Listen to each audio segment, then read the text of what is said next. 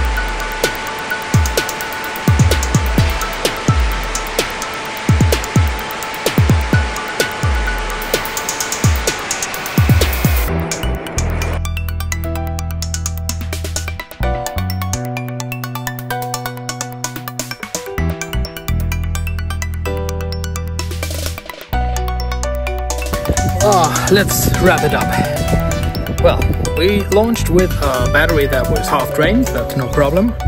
You saw the consumption was um, relaxed, pretty much relaxed, and uh, the flight was awesome.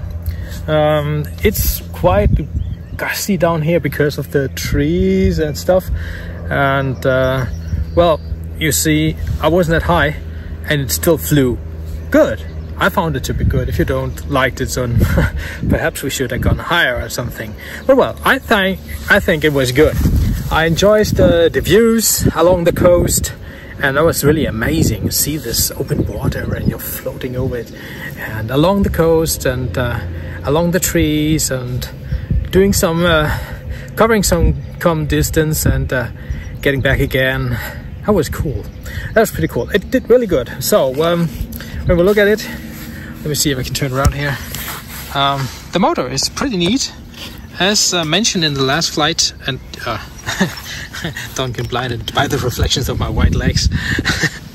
um, this motor, it's a 2208 as mentioned, um, has 1800 kV and does a really good job. Really relaxed. Not that noisy with the prop, this Gemfan Flash 6x4 too. Um, it will be relax, uh, replaced against something 6x6 inch which is coming up i hope this weekend. I really hope so. And uh, then we'll see how the values change after that. For now i'm pretty happy with this. And um, well i tell you this is so you can get two. Because if you're not satisfied if your t1 or if your F01 is just uh, doing the normal stuff and not the fast and speedy stuff, then it's perhaps time to change to something like this motor 2207, 2208 with 1800 kV and a 6 inch prop running 4S, and you're in the game, right in the middle of it. No compromise and just the poor, the pure fun. Well, I've got some issues with my telemetry. Somehow, I don't know why, I don't know how. Changed the receiver already, changed um, the antenna this morning. So I don't know what's wrong, but I'll figure it out. And um, I was running uh, 50 hertz on my Express LRS, which gave me a really decent range and uh, sensitivity about minus 117 de decibel, whatever. you know the, the thing, the term, and um, that gives you a lot of range with a little little, output. So um, it wasn't that harsh to trip today. It was pretty nice. It was cool. But what's next? Next up is, as I mentioned, the flight with uh, six by six inch props, and of course um, some more tweaking here and there. Perhaps we can tweak some more on the PIDs. I will post the PIDs from this day in the comments. Oh, not in the comments, in the description of the video, so you can take it and just insert it if you like. And other than that, don't hesitate to drop me a message and uh, a line, and I'll respond to that immediately as usual. Um, yeah, what's left to say?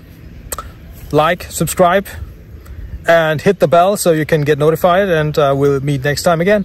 For now, my name is Byron and this is Just FPV and we are straight out. Bye bye. I've not been alone on the field. This guy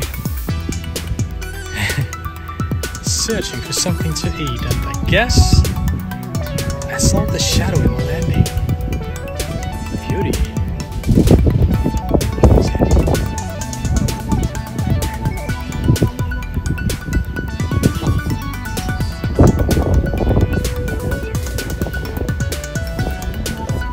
Don't forget to hit the Hello, subscribe button. Say hello. That would be awesome.